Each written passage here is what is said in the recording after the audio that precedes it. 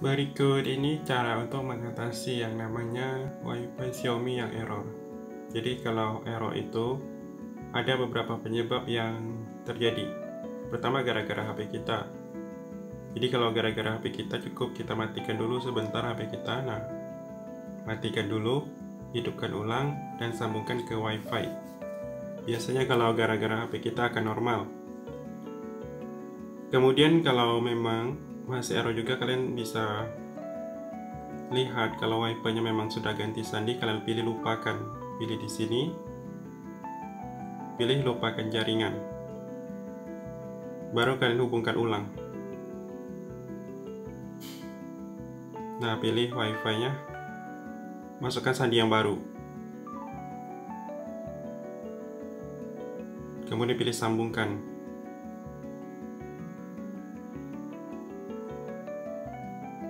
Nah, seperti itu.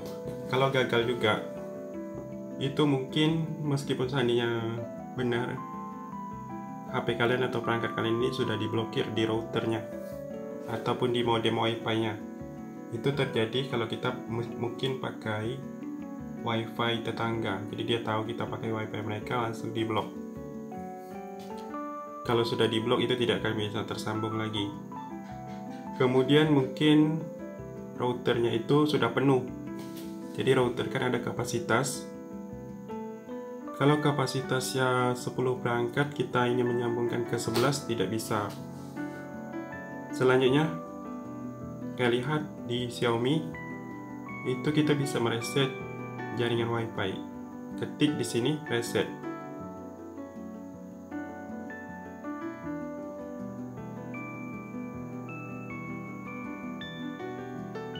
Kalau tidak muncul, ketik atur.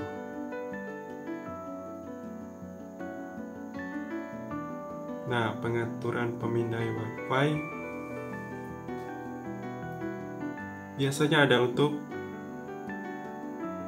mengatur WiFi-nya atau reset.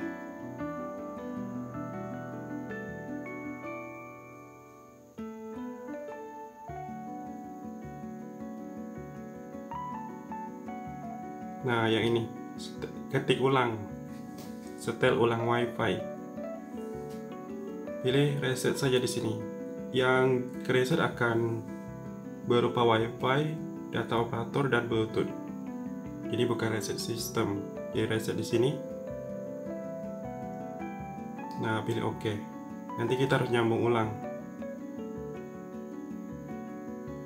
Jadi seperti itu.